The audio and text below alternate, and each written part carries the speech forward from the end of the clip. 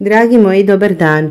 U ovom videu vam pokazujem kako da pripremite slane perece po receptu moje bakije. Recept je odličan, da ne kažem čak vrhunski. Ove slane perece su po mom mišljenju najukusnije, prave se sa kačkavaljem i mašću. E, tako da evo sledi video recept i nadam se da vam se dopadaju na izgled, a kada ih budete napravili verujem da će vam i ukus zaista da će vam se i zaista svideti. Evo ovdje imamo 250 g masti, dva jaja, 250 g kačkavalja koji je rendan ono manj, sitno rende, zatim oko 220 ml mleka, toplog mleka, u koje sam dodala jednu kašiku, jednu kašičicu šećera i 20 g kvasa, to vam je pola onog paketića, Kvasac je stajao sa strane da se aktivira 2-3 minuta i sada ćemo sve sastojke e, spojiti, promešati. Biće nam potrebno negde oko 550 grama brašna, ali možete da stavite i malo više. Gledajte da testo e, prestane da se lepi za ruke, ali da bude e, mekano. Znači negdje oko 550-600 grama brašna i bit će vam naravno potrebno malo brašna kada budete razvaljali ovo testo na radnoj površini. Evo vidite, znači dodajem malo po malo brašna i e, mutim varjačom. Da biste pripremili e, slane perece, potreban vam je onaj kalop za slane perece, ali ako ga nemate ili ne možete da ga pronađete, možete e, da napravite svakako po ovom receptu slane štapiće. E, tako što ćete razvaljati testo i seći na štapiće i dalje posuti jajem, preliti jajem, a zatim premazati jajem, a zatim posuti susam ili kim i bit će odlično, ali nećete imati oblik slanih pereca. Evo testo je uskoro gotovo.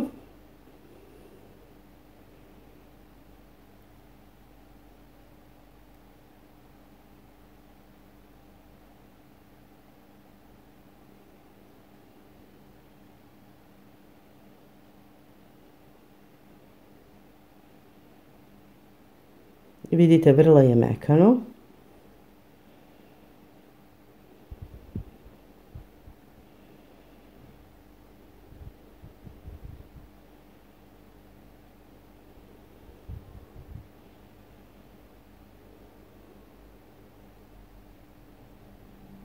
I kada je dobro umešeno, e, razvaljat ćemo ga na površnjenoj radnoj površini.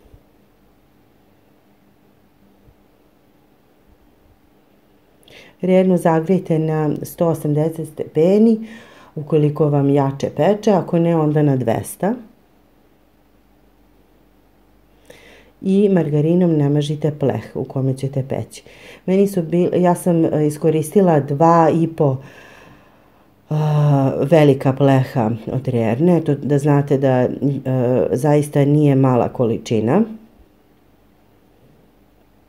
ali ako biste pravili štapiće, onda biste verovatno sve mogli da stavite e, samo u dva pleha, jer perece zauzimaju mnogo više mesta.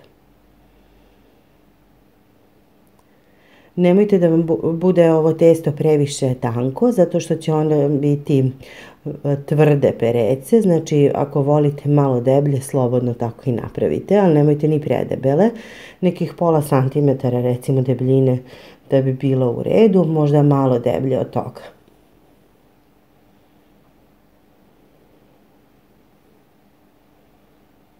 Izjednačite testo da, bude, da bi i kasnije sve perece bile iste debljine.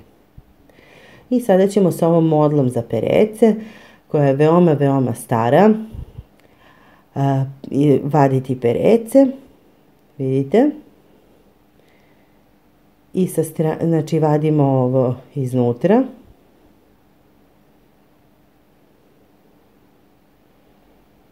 Ovo testo koje nam ostane ćemo iskoristiti kasnije kada budemo ponovo razvaljali testo, znači ništa se ne baca.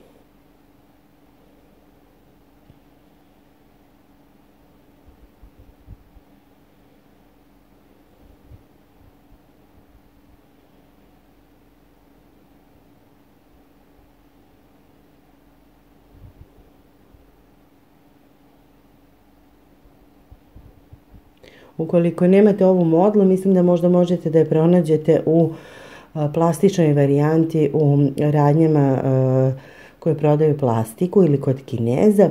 Probajte, nisam sigurna gdje tačno možete da nađete, ali čini mi se da sam vidjela da ima da se kupi ova modla.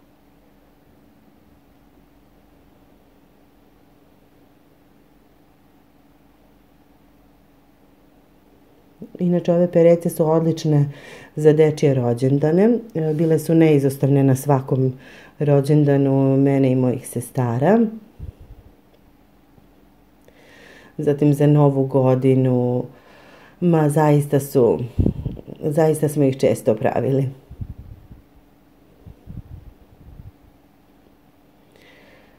Evo, perece su složene u podmazan pleh i e, premazujem ih umućenim jajetom a zatim možete preko da stavite kim, ako ne volite kim, stavite susam.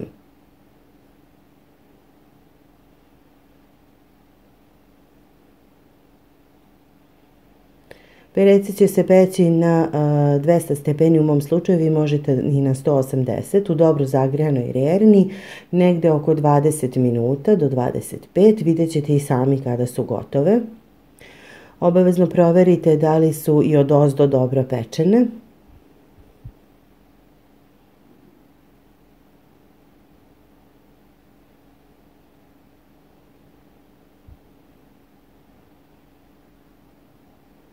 Sada ćemo posuti kim.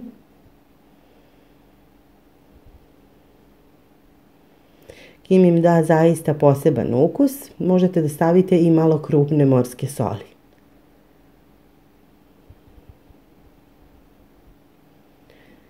Evo, e, perece su gotove. Vadim ih iz pleha.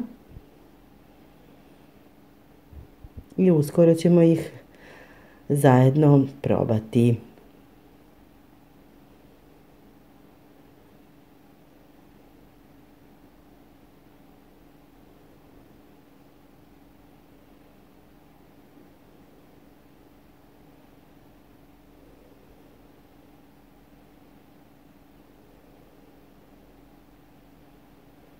Nadam se da vam se dopao i ovaj video recept. Ako budete pravili perece po ugledu na ovaj video, javite mi vaše utiske. Puno pozdrava od Milice Mihajlović. Prijatno!